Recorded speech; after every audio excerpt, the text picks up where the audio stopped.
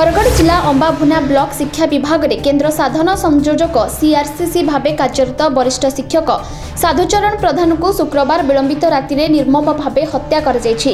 ଏଥିସହ ସିଆର୍ସିସିଙ୍କ ଝିଅ ଗୁରୁତର ଆହତ ହୋଇଛନ୍ତି। ତାଙ୍କୁ ଚିକିତ୍ସା ନିମନ୍ତେ ବୁର୍ଲା ସ୍ଥାନାନ୍ତର କରାଯାଇଛି। ସୂଚନା ଅନୁଯାୟୀ ସାଧୁଚରଣ ଅମ୍ବାଭୁନା ନିକଟ ଖଇରପାଲି ଗ୍ରାମର ଏକ ଭଡ଼ା ଘରେ ଶୋଇଥିବା ବେଳେ ନୂଆପାଲି ଗ୍ରାମର ନାଗେଶ ଦାସ ଛାତ ଉପର ଦେଇ ଘରେ ପଶି ତାଙ୍କୁ ଟାଙ୍ଗିଆରେ ହାଣି ହତ୍ୟା କରିଥିଲେ।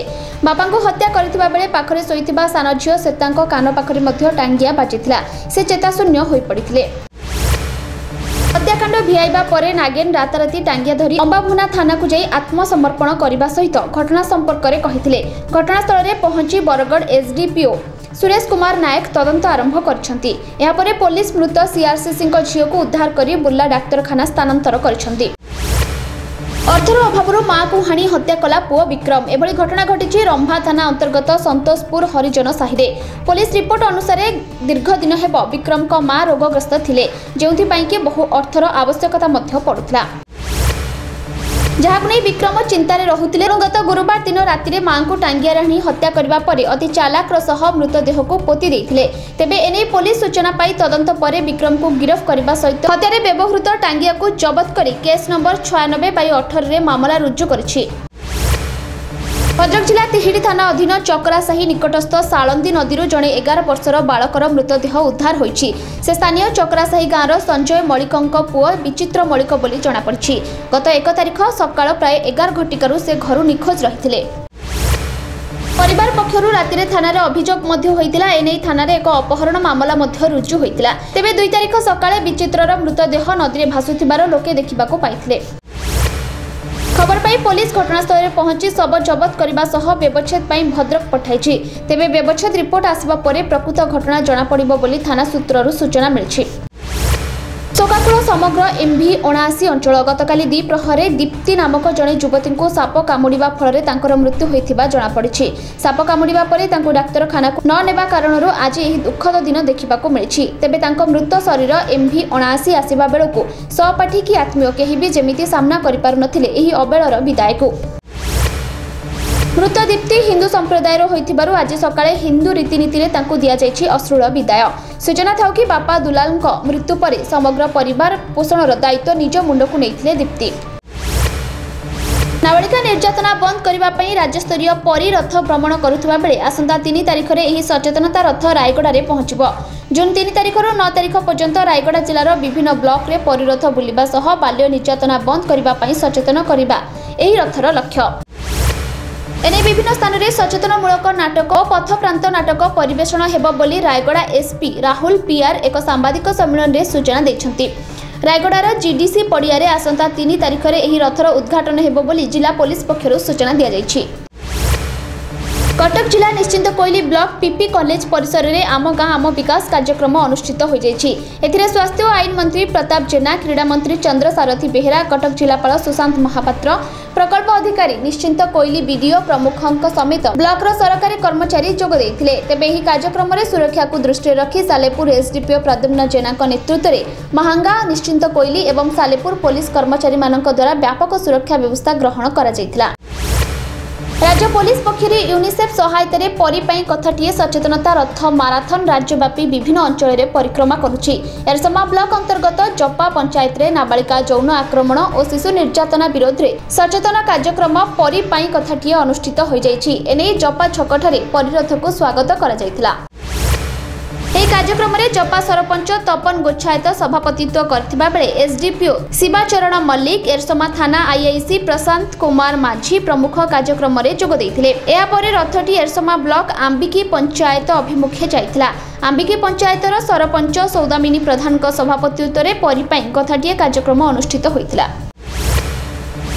ସମବାୟ ସମିତିଗୁଡ଼ିକର କାର୍ଯ୍ୟାବଳୀ ଲକ୍ଷ୍ୟ ଉଦ୍ଦେଶ୍ୟ ତଥା ଚାଷୀ ଭାଇ ଭଉଣୀମାନଙ୍କୁ ସମିତି ମାଧ୍ୟମରେ ଯୋଗାଇ ଦିଆଯାଉଥିବା ବିଭିନ୍ନ ସେବାମୂଳକ ପଦକ୍ଷେପ ଉପରେ ସଚେତନତାକୁ ବ୍ୟାପକ ଏବଂ ବିସ୍ତୃତ କରିବା ଉଦ୍ଦେଶ୍ୟରେ ସମବାୟ ବିଭାଗ ଗୁଣୁପୁର ମଣ୍ଡଳ ତରଫରୁ ଆଜି ନିୟନ୍ତ୍ରିତ ବଜାର କମିଟି ଗୁଣୁପୁରର ସମ୍ମିଳନୀ କକ୍ଷଠାରେ ଉପଖଣ୍ଡ ସ୍ତରୀୟ ସଚେତନତା ଅଭିଯାନ ସମବାୟ ଆପଣଙ୍କ ଦ୍ୱାରରେ କାର୍ଯ୍ୟକ୍ରମ ଶୁଭାରମ୍ଭ କରାଯାଇଛି। ଅବସରରେ ଆୟୋଜିତ ସଭାରେ ମୁଖ୍ୟ ଅତିଥି ଭାବେ ସ୍ଥାନୀୟ ଉପଜିଲ୍ଲାପାଳ ଯୋଗଦେଇ କାର୍ଯ୍ୟକ୍ରମର ଲକ୍ଷ୍ୟ ଓ ଉଦ୍ଦେଶ୍ୟ ସମ୍ପର୍କରେ ଆଲୋକପାତ କରିଥିଲେ।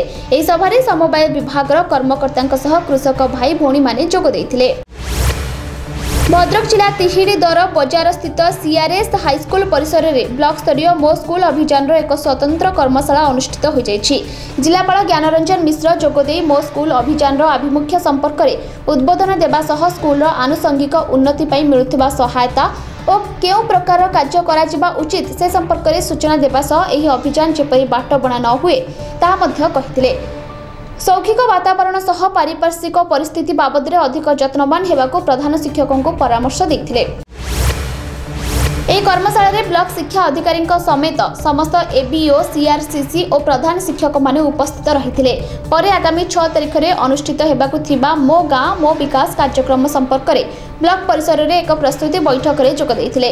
ବ୍ଲକ ଅଧ୍ୟକ୍ଷା ବିଡିଓ ଓ ସମସ୍ତ ବିଭାଗର ପଦାଧିକାରୀମାନେ ଏଥିରେ ଉପସ୍ଥିତ ରହିଥିଲେ।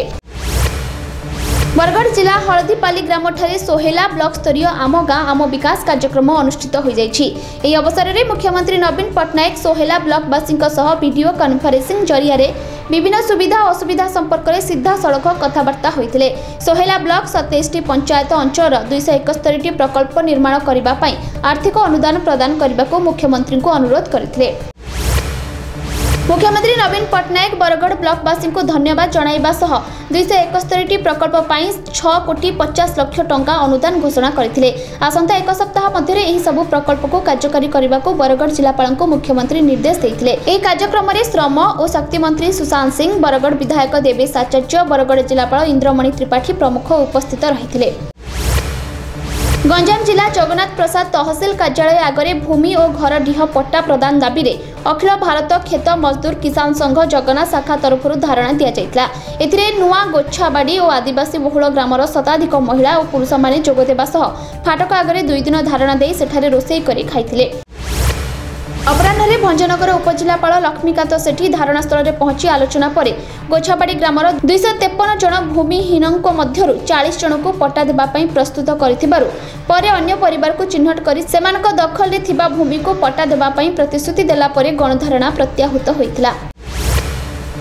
ଆଦିବାସୀ ବହୁଳ ନବରଙ୍ଗପୁର ଜିଲ୍ଲା ଉମରକୋଟ ବ୍ଲକ ମୁର୍ତୁମ୍ବା ଗ୍ରାମ ପଞ୍ଚାୟତ ସାନ ଖଡ଼କା ପଡ଼ିଆଠାରେ ବାବା ଭୈରବ ଗଣ୍ଡା ସମାଜ ପକ୍ଷରୁ ବଣ୍ଡା ସମାଜର ବାର୍ଷିକ ଉତ୍ସବ ଅନୁଷ୍ଠିତ ହୋଇଯାଇଛି।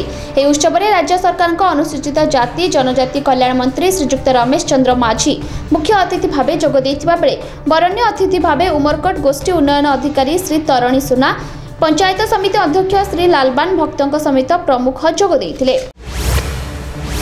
ଏହି ସଭାରେ ସମାଜର ସଭାପତି କପୁର ଚାନ୍ଦ ନାୟକ ଅଧ୍ୟକ୍ଷଣ କରିଥିବା ବେଳେ ସମ୍ପାଦକ ଧରମ ଦାସ ଗଣ୍ଡା ବିବରଣୀ ପାଠ କରିଥିଲେ।